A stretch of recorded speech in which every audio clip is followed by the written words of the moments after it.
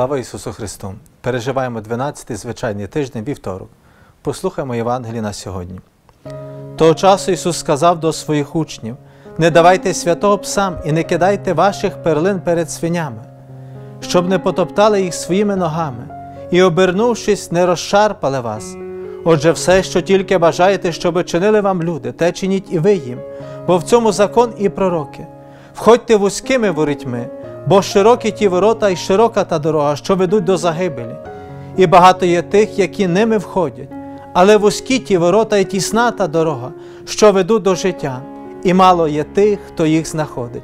Слово Господнє, слава тобі, Христе!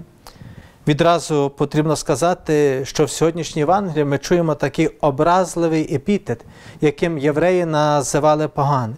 Тому що у євреїв зазвичай собаки не були одомашненими. Тобто це були бродячі тварини, які живилися з того, що падало, що було при дорозі. Натомість священе це було те, що приносилося, що присвячувалося для богослужіння. І ранні оці церкви, цей фрагмент Євангелії відносять до Євхаристії, що тут йдеться про жертовність, про те, що ми маємо з повагою відноситися до Євхаристії, але також тут йдеться про священне, йдеться про жертовне м'ясо.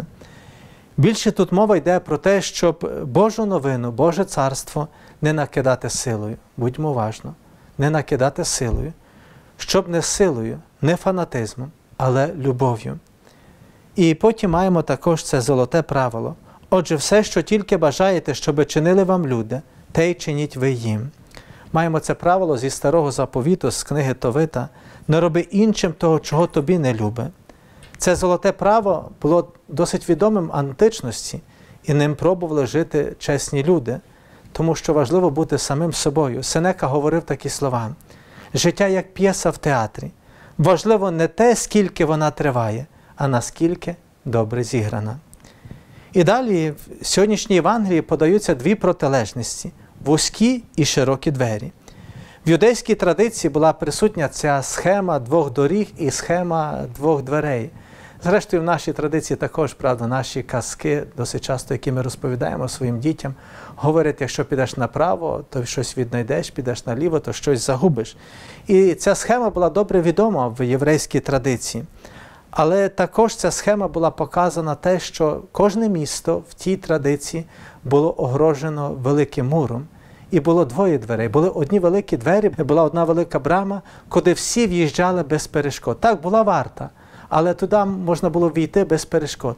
Але зазвичай кожне місто мало також потаємні двері, через які війти потрібно було натрудитись, бо вони зазвичай були десь високо, бо вони були досить незручними. І Христос говорить сьогодні конкретно: вибирай, якими дверима входити. Чи входиш дверима вузькими, де є зручно, де є комфортно, чи цими, котрі потрібно напрацюватися. І інше, про що говорить сьогоднішня Євангелія, Єрусалимський храм також був оточений муром. Тобто був один великий мур, куди могли входити навіть пагани, потім був менший, коли входили євреї, і було третє, коли входили лише священики. Але Куди входили священики, могли тільки війти священики, але місце, де святе святих було, міг війти не кожен, навіть не кожен священик. Пам'ятаємо, що коли жереб впав на Захарію, він війшов і дуже це переживав. Тому Господь говорить, щоб насправді жити Божим царством, щоб, щоб жити Євангелію, потрібно напрацюватись. Пам'ятаємо іншу притчу про голку. Це потрібно працювати, потрібно старатися. Бог говорить для кожного з нас: вибирай. А досить часто, що я говорю? Це не для мене. Досить багато обмежень, досить незручно. Або також можу сказати, я вже втомлений. Сьогоднішній Євангелій запитує в конкретний спосіб, які двері я вибираю. А Господь говорить, що лише Він є правдивими дверима.